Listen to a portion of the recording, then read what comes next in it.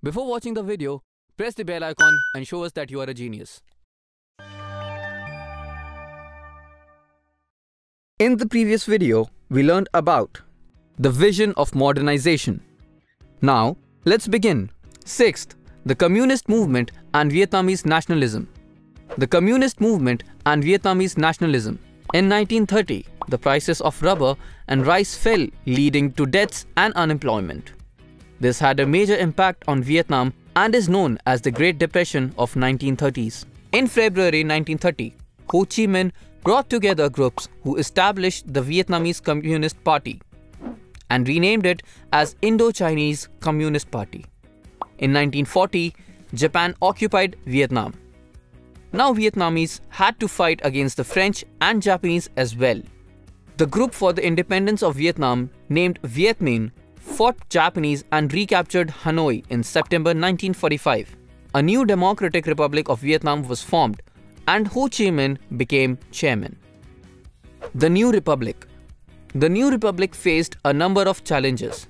The French tried to regain control by using the Emperor Bao Dai as their puppet. After eight years of fighting in 1953, the supreme commander of the French army had declared confidently that they would soon be victorious. But the very next year, in 1954, Viet Minh captured more than 16,000 soldiers of the French. Entire commanding staff, general, officers were taken prisoners. The peace negotiation followed the French defeat and Vietnamese accepting the division of the country. North and South were split. Ho Chi Minh and the Communists were put in the north while Bao Dai in south. This division turned Vietnam into a battlefield, bringing death and destruction to its people and environment. Another group led by Dinh Diem overthrew Bao Dai regime. Diem built government Anyone who opposed was called a communist and was jailed and killed.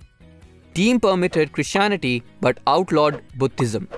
His dictator rule was opposed by National Liberation Front.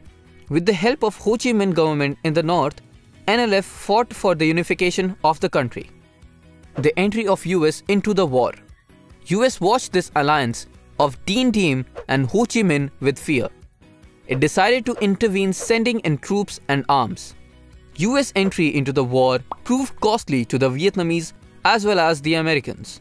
Even though the US had advanced technology and good medical supplies, about 47,244 died in battle and 303,704 were wounded.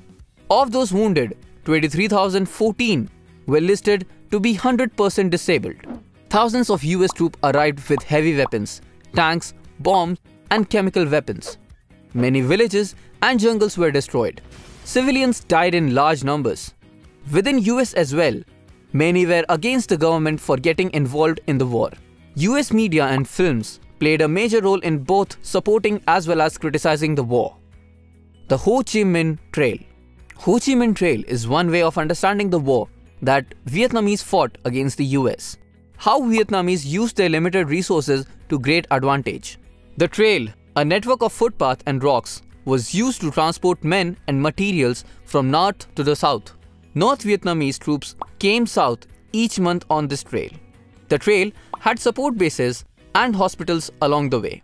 Supplies were transported in trucks or were carried by porters, who were mainly women. They carried about 25 kilos on their back, all about 70 kilos on their bicycles. Most of the trail was outside Vietnam in Laos and Cambodia extending into South Vietnam. US regularly bombed the trail trying to disrupt supplies. But the efforts failed because they were rebuilt very quickly. The communist movement and Vietnamese nationalism tells us about the new republic, entry of US into the war, and the Ho Chi Minh Trail. That was all for this video. See you in the next part.